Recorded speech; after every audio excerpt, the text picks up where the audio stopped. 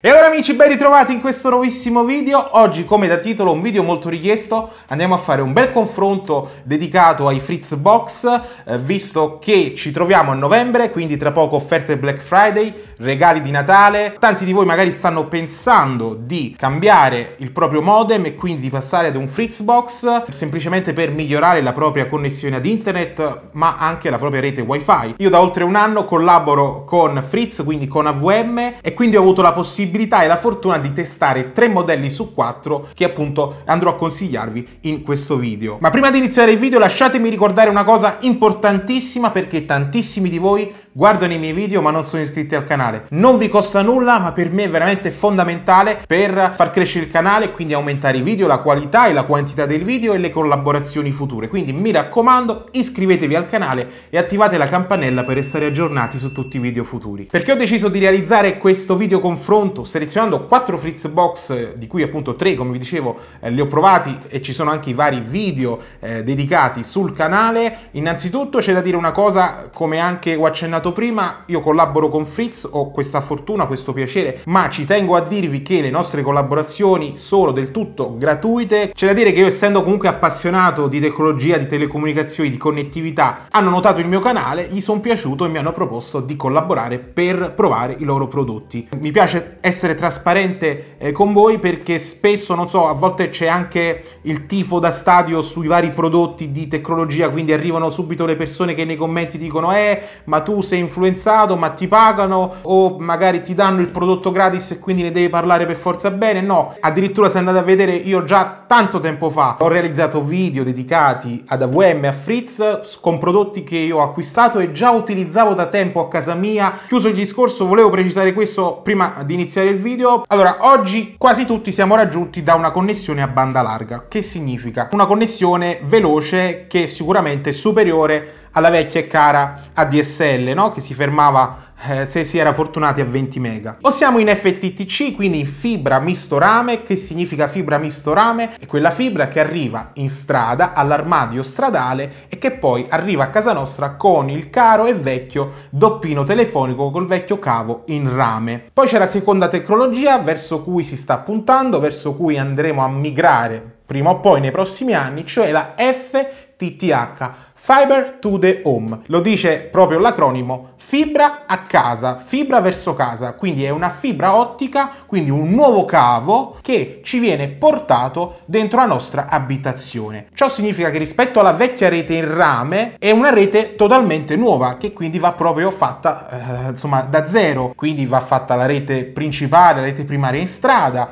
gli armati stradali e poi la rete secondaria che è praticamente l'ultimo step, l'ultimo miglio ci collega nelle nostre abitazioni. La rete in fibra ottica in Italia in questo momento è divisa su due operatori che non sono però provider perché forniscono l'infrastruttura ma non vendono direttamente la connessione ad internet a noi. Fibercop che veniva precedentemente gestito da Team, ma sappiamo che adesso che Team è stata venduta, quindi tutta la parte diciamo di rete è stata venduta, però diciamo noi chiameremo Team Fibercop ancora per un fatto di semplicità e poi il secondo è Open Fiber che nasce eh, dalla volontà anche dello Stato italiano accelerare un po' i tempi sul passaggio in fibra ottica, soprattutto per cablare tutti quei comuni, le cosiddette aree bianche dove gli operatori privati non hanno interesse perché appunto sono a fallimento di mercato. Open Fiber nacque all'epoca con Enel, eh, all'epoca si chiamava Enel, Open Fiber, eccetera, eccetera. Perché questo? Perché la fibra ottica, essendo comunque un raggio luminoso, essendo una luce, può convivere insieme anche ai cavi elettrici e quindi in moltissime installazioni, soprattutto quelle in aree bianche, quindi del famoso piano bull, eh, molti di voi faranno caso che appunto i cavi in fibra ottica passano anche sui tralicci eh, dell'elettricità. Cosa fanno questi due operatori? Praticamente realizzano la rete, vanno a fare la manutenzione sulla rete e vendono, affittano la rete ai vari provider che possono essere Team, Wind,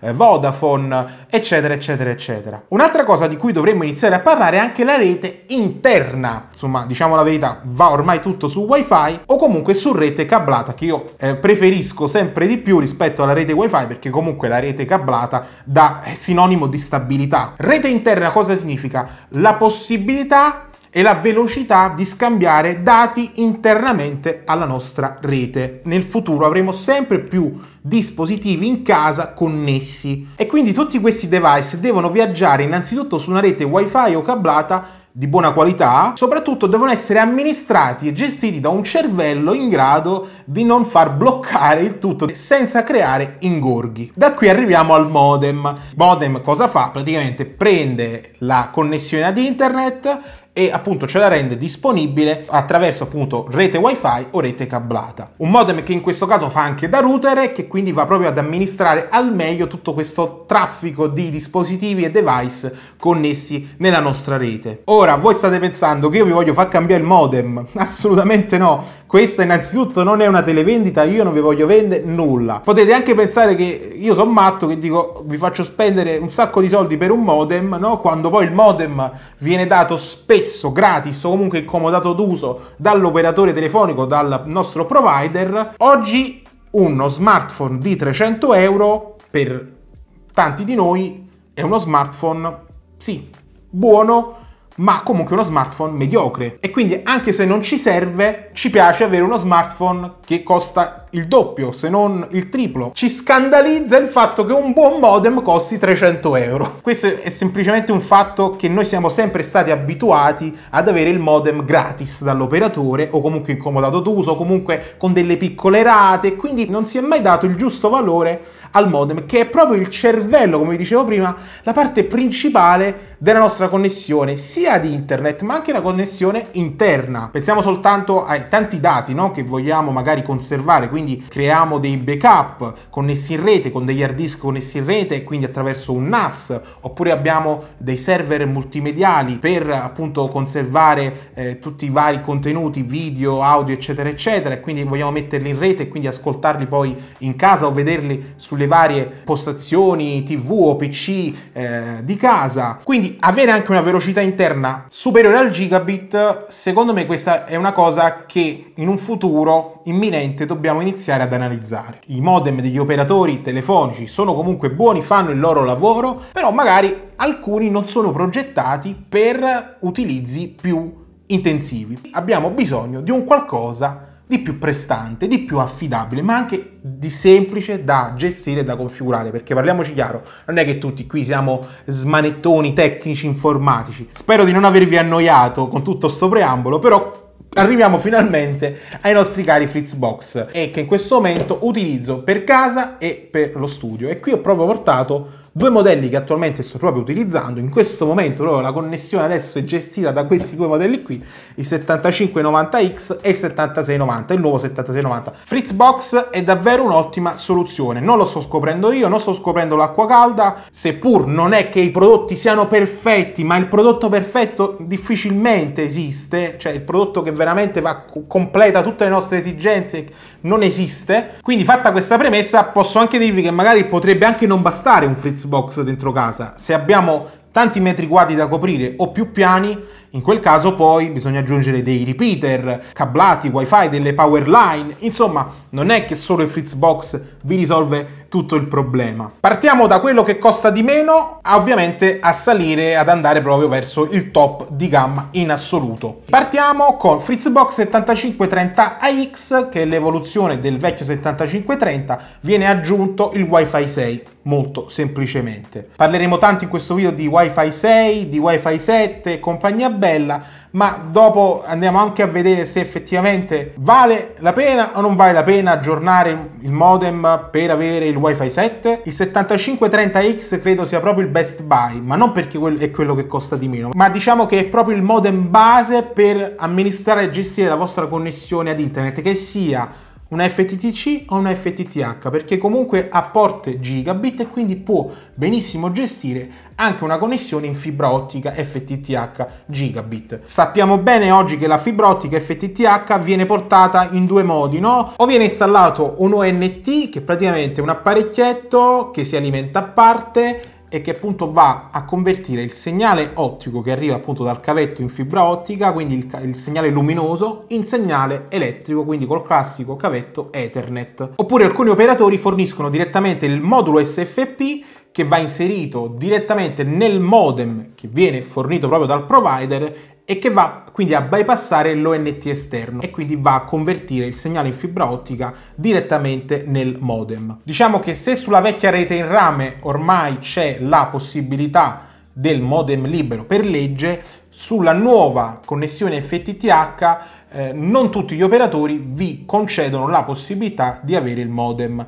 libero, ma comunque per via proprio del fatto dell'ONT magari interno vi costringono per forza di cose ad accettare il loro modem se volete appunto stipulare il contratto. Avendo il modem dell'operatore telefonico nessuno vi vieta di utilizzare un altro modem o di utilizzare in questo caso un Fritzbox in cascata se non potete direttamente collegarlo alla rete. Non c'è problema per la rete FTTC perché tutti i Fritzbox hanno l'ingresso DSL con il super vectoring quindi con il profilo a 300 100 mega, quindi la velocità massima che si può appunto usufruire dalla rete in FTTC, in fibra misto rame. Per quanto riguarda la fibra ottica, quindi la FTTH, se avete l'ONT esterno non c'è problema perché entrate in una porta WAN o in una porta LAN a seconda della disponibilità sul modello, configurate in modo semplice la connessione. Se invece la vostra connessione in fibra ottica passa dal modem dell'operatore telefonico, quindi attraverso il moduletto SFP, o chiedete l'installazione di un NT esterno,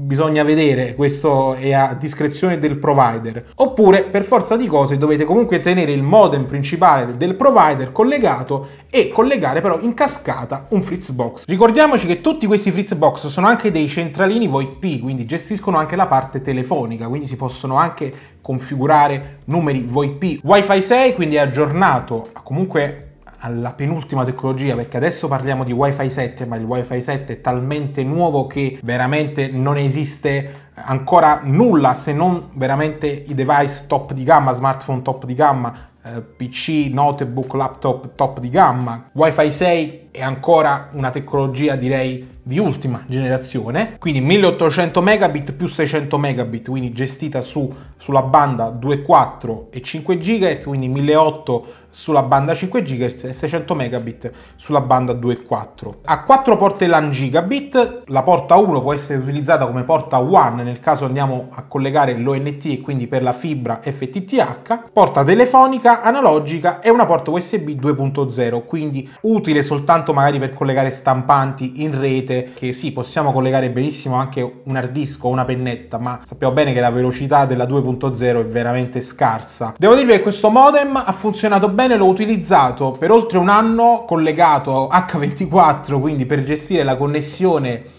in FTTC perché purtroppo, spoiler, io non ho ancora la fibra ottica, la, la, stiamo attendendo, insomma arriverà prima o poi, però non ha proprio tutte quelle caratteristiche dei modelli superiori, però diciamo che nei suoi limiti ha le funzionalità essenziali utili alla maggior parte di voi, secondo me. Secondo modello che ho selezionato per voi ed è proprio quello che sto utilizzando attualmente per gestire la mia connessione FTTC, ho fatto questo upgrade e il 7590 AX è aggiornato con il Wi-Fi 6, quindi AX sta proprio per l'aggiornamento al Wi-Fi 6, connessione DSL fino a 300 megabit. Abbiamo il Wi-Fi 6 2400 megabit in banda 5 e 1200 in banda 2.4 GHz. Un'ottima, un'ottima banda di copertura appunto del wifi. Diciamo che questo anche a livello di dimensioni ovviamente è più grande del 7530, questo permette anche un hardware leggermente superiore, ma soprattutto anche una dissipazione del calore maggiore. Come vedete porta DSL, due porte telefoniche analogiche, a chi serve insomma magari può far comodo. C'è la porta WAN che serve o per collegare il modem in cascata ad un altro modem, quindi al modem principale del provider, oppure semplicemente per eh, andare a collegare l'ONT della connessione in FTTH. Poi abbiamo quattro porte gigabit, ovviamente anche la porta WAN è una porta gigabit e qui abbiamo come vedete due USB 3.0 che non sono aggiornate all'ultimo standard 3.2, quindi ancora più efficienti efficienti, veloci, eccetera, ma comunque sono 3.0 che rispetto al 2.0 già qui possiamo pensare di collegare un hard disk, una chiavetta in rete per sfruttare la funzionalità del FritzOS NAS. Va a creare un piccolo NAS casalingo, ma più che altro per gestire magari non dati di archiviazioni, di backup, pesanti, importanti, ma può essere molto utile per creare un piccolo media server, per gestire eh, video e audio in rete. Lasciatemi dire anche una cosa, tutti questi prodotti Fritzbox per la parte telefonica hanno anche una porta TAE, che sarebbe la porta tedesca. Può essere anche utilizzata e basta comprare un adattatore TAE RJ11 e potete avere anche un'altra porta telefonica per collegare l'apparecchio, un apparecchio telefonico. Se dal punto di vista software il FritzOS praticamente identico, ovviamente anche al 7530, qui abbiamo sicuramente un wifi superiore, quindi più veloce, più efficiente, abbiamo una banda maggiore. E passiamo al terzo Fritzbox, questo qui è proprio fresco fresco, uscito da poco e lo sto utilizzando nello studio qui per per gestire la connessione è il 7690, il nuovissimo 7690 che introduce anche il nuovo standard Wi-Fi 7. Ma ve lo dico subito, è un Wi-Fi 7 un po' diciamo non originale, diciamo così, perché invece di viaggiare sulla nuova banda destinata a Wi-Fi 7, cioè la 6 GHz, continua a viaggiare sulla banda 5 GHz e 2.4 GHz. Comunque si va a sfruttare tutta la tecnologia, la nuova tecnologia del Wi-Fi 7, però sono andati un po' a risparmiare, quindi hanno lasciato le due bande 2.4 e 5 GHz, quindi le classiche eh, bande del Wi-Fi, andando però ad introdurre tutta la nuova tecnologia hardware e software del nuovo Wi-Fi 7 per non far costare troppo, se, secondo me, il prodotto, visto che comunque è ancora una tecnologia limitata, visto che ci sono ancora pochi device compatibili con Wi-Fi 7. La banda di questo Wi-Fi 7 è molto importante, stiamo parlando di comunque di 5760 megabit, quindi 5 giga, quasi 6 gigabit in banda 5, 1376 megabit in banda 2.4. Ovviamente perché deve esserci una banda così importante su questo prodotto? Perché questo è il primo prodotto Fritzbox che ha anche la possibilità di collegarsi in 2.5 gigabit. Ha la porta WAN a 2.5 gigabit e ha anche una porta LAN aggiuntiva a 2.5 gigabit e altre due porte a 1 gigabit. Però purtroppo è un prodotto che secondo me è un po' incompleto. Lo consiglierei soltanto se si ha proprio la necessità di avere la doppia porta a 2.5 gigabit. Perché poi tra poco con il quarto Fritzbox invece c'è un compromesso. Quindi questo è il discorso che vi facevo all'inizio non esiste il prodotto perfetto purtroppo. Un po' per ragioni di marketing un po' per varie ragioni di scelte eh, appunto in fase di costruzione che noi non sappiamo può essere collegato alla rete DSL quindi fino a 300 megabit quindi compatibile con FTTC due porte telefoniche classiche. È un po' un prodotto in incompleto dal punto di vista delle porte USB perché ha soltanto una porta USB però 2.0 è un prodotto che esce nel 2024 è uscito poche settimane fa con una porta 2.0 è veramente una cosa posso dire imbarazzante, cioè non si può. Non è nemmeno il fatto che noi qui utilizziamo il modem come NAS, però diciamo che tantissimi eh, utilizzano il modem per collegare un hard disk, una chiavetta, per condividere i file in rete. Ormai oggi è talmente anche diffusa la possibilità di farsi un NAS senza spendere una cifra esagerata che magari molti hanno anche proprio un NAS dedicato, quindi non è che a noi ci serve il modem per fare il NAS. Però visto che nel vostro FritzOS date la possibilità della, appunto di fare un piccolo NAS casalingo, perché su un prodotto che esce nel 2024 mettete su una porta 2.0 che non esiste proprio? Dai ragazzi, è veramente imbarazzante. È un prodotto un po' a metà, non è né carne né pesce, però può essere molto utile. Si ha una connessione FTTH, in questo caso lo consiglio FTTH 2.5 gigabit con ONT esterno, quindi tramite ONT esterno, cavo LAN entrate nella presa WAN a 2.5 gigabit e avete anche un'altra porta LAN in uscita 2.5 per collegare device che possono andare a 2.5, quindi come appunto un NAS, come appunto un server, un PC, un qualsiasi device che va a 2.5 o anche collegare uno switch a 2.5 per crearvi poi la vostra rete interna a 2.5 che è molto molto più veloce della rete gigabit a cui siamo abituati da anni ormai. No? La rete interna è importante perché la, è la velocità della vostra rete interna che fa anche la differenza per alcune applicazioni. È un prodotto secondo me che è stato pensato bene, però poi si sono persi in un bicchiere d'acqua perché secondo me, anche per il costo, eh, perché siamo intorno ai 280-300 euro, è superiore al 7590X, però su alcune cose è inferiore al 7590X. C'è anche da dire che questo 7690 introduce anche la compatibilità, come vedete, Zigbee quindi diventa anche hub per la domotica. Dulcis in fondo, se si vuole il top di gamma in questo momento, secondo me, a mio parere, della linea Fritzbox 5690 Pro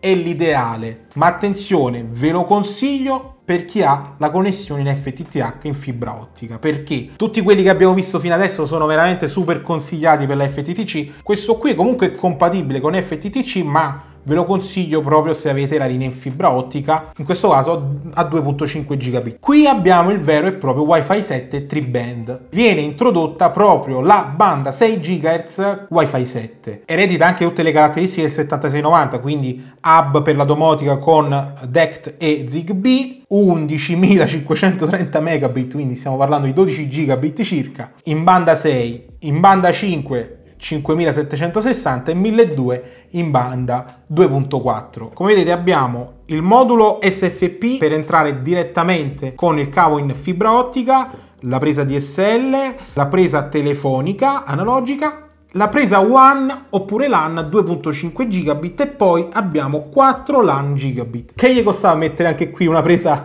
LAN a 2.5 gigabit? Vedete, a volte si perdono in un bicchiere d'acqua, però abbiamo anche l'introduzione della USB 3.1. Questa sì che è utile per farsi il NAS in casa collegando un hard disk in rete, eccetera, eccetera, per fare anche da media server. Entrare direttamente col modulo SFP è un po' particolare il ragionamento. Informatevi prima col vostro provider, eh, prima di, di fare cambiamenti azzardati. Potete sempre usarlo, potete sempre utilizzarlo in cascata al modem principale, sfruttando appunto la porta WAN. Mi sento solo di criticare il fatto che non hanno messo anche un'altra porta 2.5 come hanno fatto sul 7690. Tutti quanti condividono lo stesso Frizz OS, quindi sono tutti quanti uguali. A breve arriverà anche la versione 8 sui nuovi dispositivi, quindi sul 7690, sul 5690 Pro. Comunque verranno tutti aggiornati a breve alla versione 8, che comunque va a migliorare ancora di più il Frizz OS. E quindi perché cambiare modem? Potrebbe essere utile per avere innanzitutto una connessione wifi più prestante, la compatibilità mesh poi perché potrebbe non bastare un Fritzbox, dobbiamo aggiungere i vari repeater, quindi è importante poi la connessione intelligente mesh per l'interfaccia di configurazione che è veramente semplice, facile, perché cambiare modem per avere maggiori prestazioni. E vabbè amici, come al solito vi lascio in descrizione i link di Amazon di questi 4 Fritzbox che ho selezionato per voi, così andate a vedere i prezzi, li mettete nel carrello e magari li tenete sott'occhio perché potrebbero andare in sconto alle prossime offerte del Black Friday, del Cyber Monday, in tutto questo periodo natalizio sicuramente, sicuramente caleranno di prezzo e quindi se state già pensando da un po' di tempo di